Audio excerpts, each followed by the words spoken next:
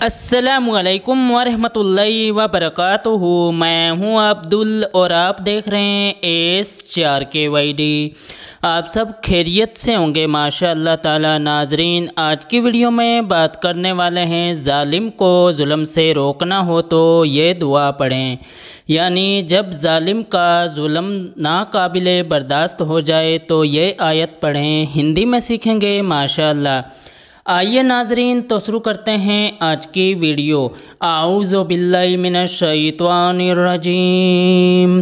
بسم اللہ الرحمن الرحیم۔ ظالم کو ظلم سے روکنا ہو تو یہ دعا پڑھیں۔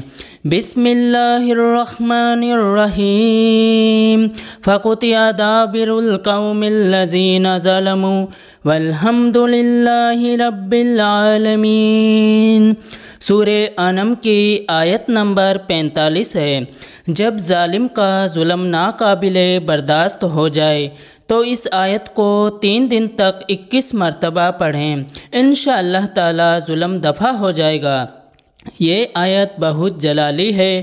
اپنے اوپر ظلم نہیں ہوا ہو تو ہرگز نہیں پڑھیں، ورنہ نقصان ہو جائے گا۔ دعاؤں کی گزارش، السلام علیکم ورحمۃ اللہ وبرکاتہ۔ ملتے ہیں انشاءاللہ ایک اور نئی ویڈیو کے ساتھ۔ تب تک کے لیے ہمیں دیجیے اجازت۔ اللہ حافظ۔